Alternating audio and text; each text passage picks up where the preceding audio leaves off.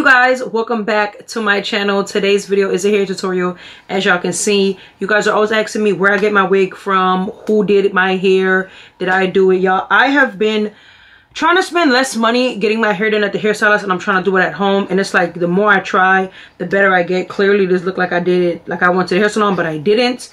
Today's wig is sent from a company called cheetah beauty hair. Yeah cheetah beauty hair. And um, they sent me a burgundy curly um, frontal wig but I'll leave them link down below if you guys interested with shopping with them. Kyrie's here, y'all. We about to go out. So I'll stop talking and let you guys enjoy today's hair tutorial. Like I said, I'll leave them link down below. They probably got a sale, girl. I don't know, girl. But thank you guys for always watching and staying tuned. Let's get into the video.